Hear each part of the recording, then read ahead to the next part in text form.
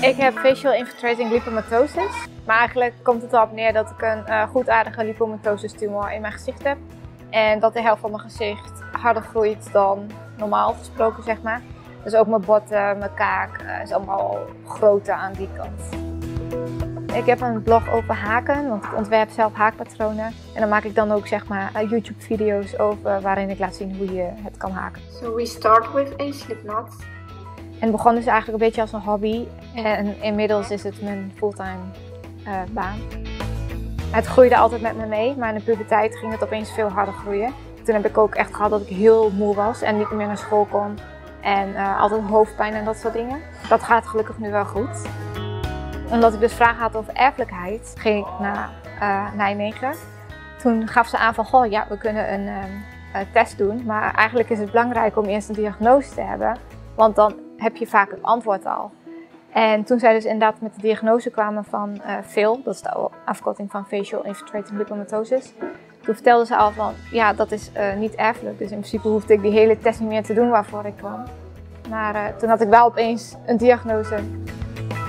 Het is wel echt heel zeldzaam. Zelf ben ik nu in contact met 30 lotgenoten over heel de wereld.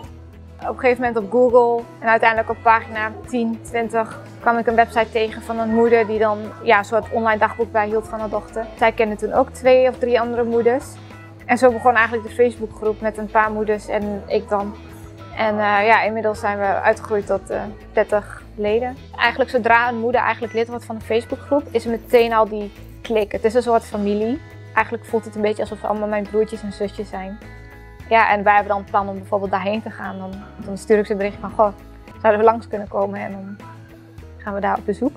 Ik kom zo nog eens op plekken waar ik anders nooit zou komen en wil maar ook niet.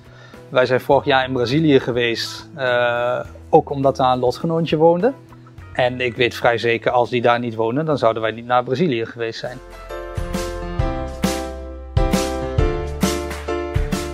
Als de moeders lid worden van de groep, is altijd de eerste vraag die ze stellen: waar kunnen we het weg laten halen? Bij welke dokter moeten we zijn?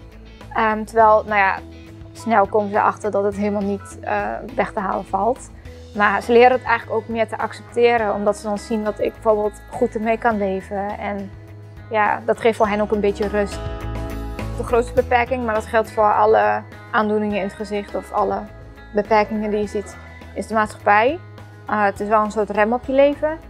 Want ja, je hele leven draait om vragen beantwoorden van vreemden, uh, blikken ontwijken, uh, nagestaard worden, aangewezen, nagedaan, uitgelachen, gefluisterd, dat soort dingen. Um, dus ja, dat is eigenlijk waar heel je leven zo'n beetje om draait. En ja, mensen denken van, oh het went, want je bent ermee geboren, maar het zal nooit wennen. De, de meest moeilijke gevallen zijn mensen die vragen van, ben je naar de tandarts geweest of ben je door een bij gesproken of wat heb je daar? En ik, ik denk dat die mensen oprecht uh, iets positiefs willen bereiken. En iemand kan echt haar hele dag uh, stuk maken. Ik dacht eigenlijk dat ik het niet meer zou meemaken dat er iets van een medicijn of iets zou zijn. Maar een jaar nadat ik een diagnose kreeg, kwam er opeens een artikel over een nieuw wondermedicijn, hoe we het noemen. En uh, dat is nu ja, allemaal nog nieuw en er is nog niks bekend over bijwerkingen op lange termijn.